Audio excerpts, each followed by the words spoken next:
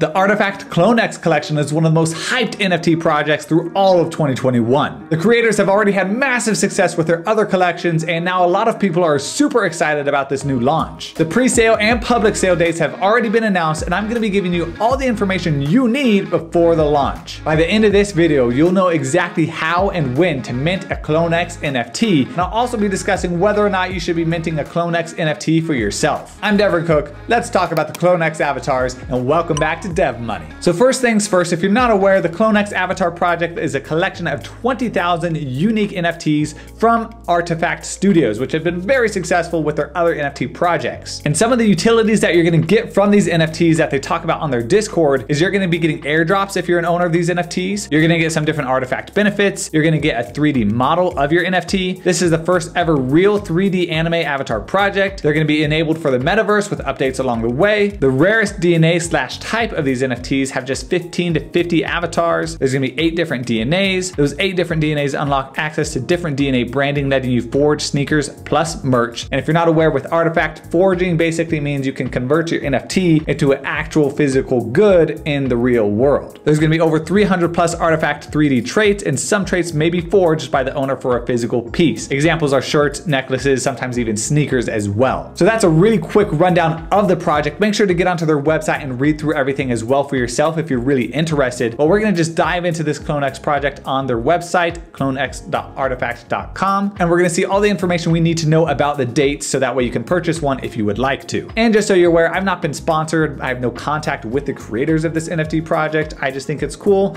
I think it's getting a lot of hype, so I figured I'd talk about it here with you. And so you can see that there's gonna be 20,000 avatars and it's gonna be split between the public sale and the pre-sale, but they won't be split evenly like we previously thought. The pre-sale is gonna have access to 11,133 of these avatars, so a bit more than half. And they wanna make this pre-sale as affordable as possible to reward our collectors, hence we have chosen a price point of 0.05 ETH for the artifact pre-sale. One qualified artifact NFT gives three reserve opportunities to buy into the 48 hour pre-sale, excluding the MetaKey Edition 2 artifact version that gives only one opportunity in pre-sale. So basically, if you already own an artifact NFT, you're gonna have access to this 48 hour window pre-sale where you're gonna have the opportunity to mint up to three of these CloneX NFTs. And if you go onto their Discord under the CloneX info portion and scroll down to the bottom, you're gonna see this big link right here, and that's gonna take you to OpenSea, and you're gonna see all 156 NFTs that you can purchase that will allow you access to the pre-sale. And they're gonna be doing a snapshot of all of the holders of these NFTs, which is basically them taking an image of all of the addresses of these NFT holders, so that way those wallet addresses have access to the pre-sale. And I've scoured their Discord a bit, but I haven't seen a date yet for the snapshot, but you will have to own one of these NFTs prior to that snapshot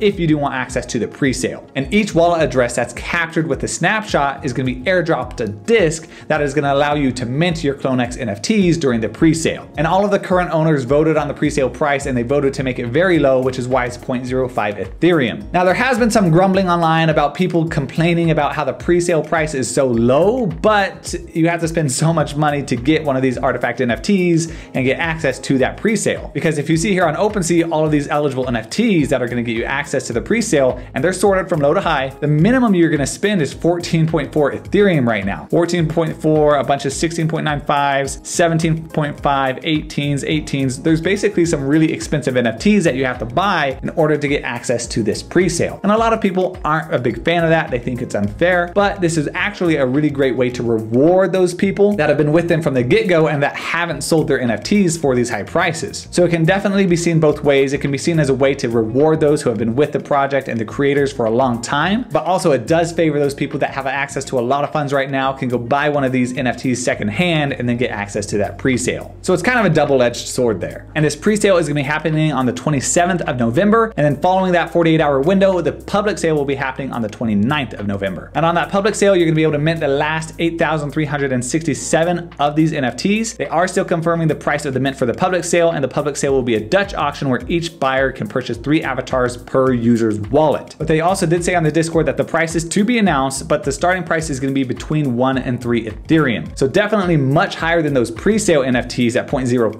Ethereum. But if you have the option of getting into the pre-sale by buying a 14 Ethereum NFT, well, it might just be worth it to stick with the public sale and mint one at somewhere between one and three Ethereum. And how a Dutch auction works is the price actually drops every so often. So say the price for these NFTs start at three Ethereum, then say every every 30 minutes, we'll know more when they announce details, but say every 30 minutes that price drops by say 0.1 Ethereum. So 30 minutes goes by and it's 2.9 Ethereum. Another 30 minutes and it's 2.8 Ethereum until it reaches a floor price of say one and a half Ethereum. And so then you're kind of in this position where you don't know if you should buy it now because you know the price is gonna drop lower, but you also know other people might be looking to hit a certain price and could buy it before you. So I think a Dutch auction is really a good way to go. Gary Vee did that with VeeFriends, and from my perspective, it worked pretty well. Now, one of the issues we do have with the public sale is we do have potential for gas wars. I haven't read anything about a solution that they're gonna be using to minimize that. So do be aware that gas fees, especially during a very popular mint and release of an NFT, can go extremely high. And also when VeeFriends was launched back in May, there was a glitch that was causing gas fees to show up as over four Ethereum, which is just crazy and it's gonna keep a lot of people from minting. Now that definitely shouldn't happen. Hopefully we don't see any glitches, but do be aware that gas fees can be very expensive during popular launches and you need to price that in when you're deciding whether or not to buy one of these NFTs. So in order to purchase one of these NFTs on the 27th during the pre-sale or on the 29th during the public sale, you're just gonna have to come onto their website, connect your wallet,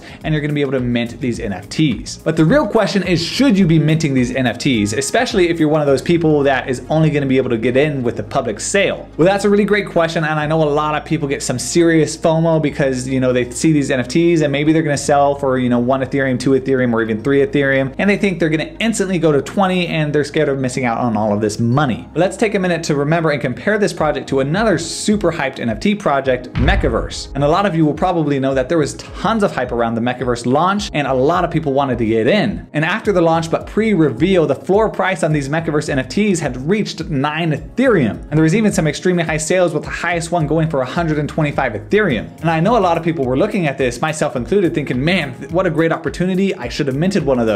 But just to show that we really don't know what's gonna happen in the future, there were some different controversies going on with the Mechaverse project, and the floor price dropped to actually below one Ethereum and is right now just sitting around one and a half Ethereum. Now, I'm not saying that this is what's gonna happen with the CloneX project, but just because there's a lot of hype around a project and there's a big following, doesn't mean that everything's gonna go smoothly. It doesn't mean that it's immediately gonna become as popular as Bored Ape Yacht Club and reach a floor price of 50 Ethereum. You really don't know what's gonna happen and you just have to make a calculated bet the best you can. So if you're interested in getting into this project, be aware that if you're looking to buy in secondhand, you are probably gonna see some inflated prices pre-reveal. But also keep in mind, if you do buy in before the reveal, you do have a chance to get an extremely rare NFT, although those chances are quite small, but it could be a big payoff if it happens. So if you are into the project, I would say go for it. If you can mint during the pre-sale, I think it's a no-brainer. If you really believe in the brand and the creators and the community, then I would say go for it. But that's ultimately up to you and you have to make this decision based upon your own personal conviction of the brand and the project. If this is your first NFT project, I would probably recommend that you go with another project that doesn't have such high of a price, unless you're the kind of person that just likes to go all in. But do keep in mind that you can find other good NFT projects that are minting even in the public sale for 0.05 Ethereum or around that price. But do keep in mind, I'm not giving you financial advice. These are just my thoughts and my opinions on this project, and you need to do your own research and only spend money on NFTs that you can afford to go to zero because there is a chance that that happens. So let me know in the comments what you think about this project. Thanks for watching. Make sure to subscribe, make sure to like, do all those things, and I'll see you in the next video.